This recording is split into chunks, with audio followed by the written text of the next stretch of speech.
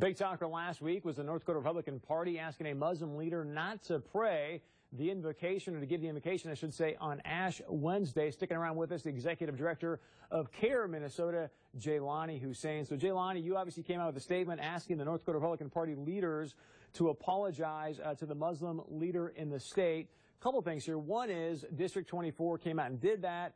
Uh, so, are you okay with their apology? And secondly, I hope you understand that not, not all North Dakota Republican leadership views the Muslim community the way that was perceived in this instance? I think it's uh, important to recognize, first of all, uh, you know, statements from uh, a representative or a leader uh, uh, is carries weight, and uh, we we saw that as really religious intolerance and, and bigotry. we welcome the the apology. It looks like maybe it's been removed from the Facebook page. I'll have to check again. we, you know, I was on a radio interview with uh, Representative uh, Dwight Kiefert, and and uh, he sounded very apologetic, and we accepted that. but now it looks like things have changed a little bit. I, I saw a news article that talked about that he may not be present when the doctor who was going to give the, the, opening statements there. Um, he's not going to show up. So I think I think we we this is an opportunity to maybe uh, talk about uh, the fact that you know Muslim Americans uh, have been facing a lot of uh, Islamophobia, uh, bigotry across the United States, uh, and I think that has a lot to do with how we view Muslims. And I think this is something that we need to really, as a community, and I think North Dakota, we really need to consider that. Um, I know, for example, I lived in North Dakota, and, and I, I've, I have to say that uh, I've been I felt very welcome being in North Dakota and the, and the, people there. And so I think this is when it comes from a leader, and the leaders are uh, have that this type of religious intolerance. So we're not going to stand and listen to a Muslim uh, uh, as if you know any other minority you know, this this is not the way we move forward as a community. But, but let's be clear. It wasn't that they weren't going to listen to this. He, he says in his defense, and you heard him say this on the interview, hey, all I was doing was asking the question. It was Ash Wednesday. Should we be having a Muslim leader here praying on Ash Wednesday versus a Christian leader? So it wasn't he wouldn't absolutely li listen to this person or wouldn't hear, listen to the prayer.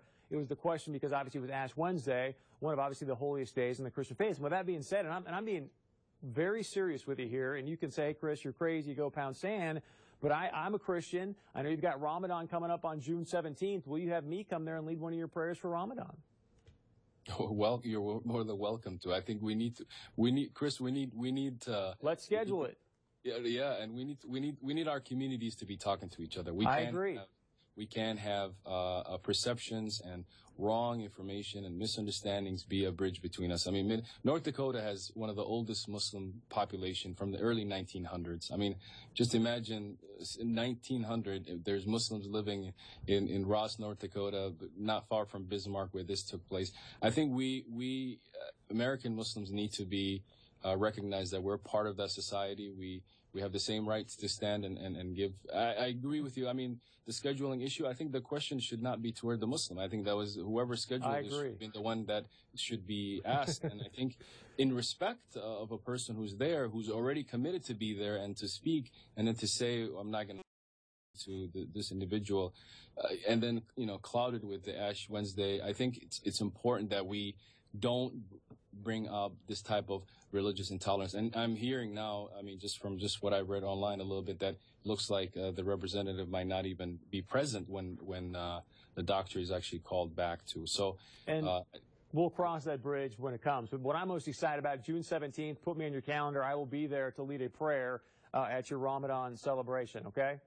Come on down. Thank you very much. Now, I want to get to this. I mean, our president came out when he first initially talked about his ISIS strategy, saying, hey, ISIS is not Islamic. I heard you say the same thing on the mm-hmm. interview with Rob Port. I think a lot of people, because here's where I'm going at with this, Jaylani, is the reason that you see, obviously, the trepidation about the Mall of America situation, the trepidation about the radicalized Islam is because of fear of the unknown of what Muslims are about. I understand there's different factions. You got Sunni, Shia, and all this kind of stuff. So I'm not saying that you, obviously, believe in what ISIS believes, but I feel like it's very insincere when people say, hey, ISIS is not Islamic from the standpoint that they want the caliphate. That's what the Quran talks about. They think that it's going to happen in Dabiq, Syria. That's what the Quran believes. I mean, do you stand by that statement that ISIS is not Islamic?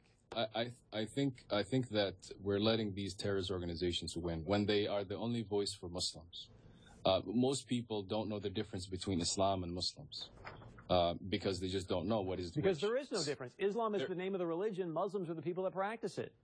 That's the, there's a big difference there. The people who practice it, they could be practicing it rightfully, wrongfully, but then the text, the, the actual religion, the doctrine, the faith, you know, that is where Muslims draw upon their inspiration to be good Muslims and to, to follow the Quran.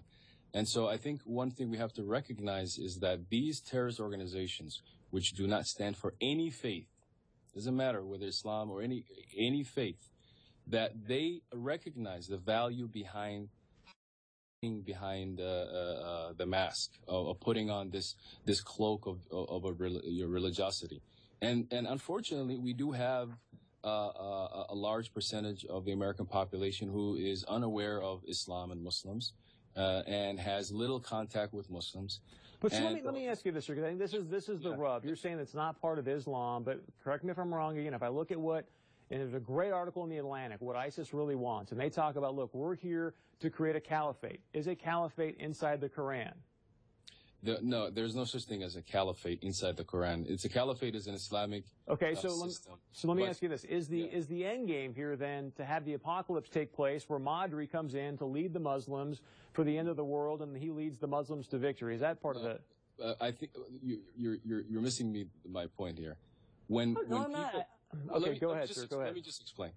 When when we are talking about Islam, from the from the view of a terrorist organization like ISIS, and and I have to validate my religion, and me and the other, you know, 1.7 billion Muslims have to say, listen, this is what Islam is. I, I personally believe that the, the lies that these organizations have been spewing, and this is not only ISIS, from Al Qaeda since then and, and, and before, these organizations have now become the voice. And, and unfortunately, when Muslims say this is not Islam, it almost seems like uh, people are saying, well, well, how come? How come?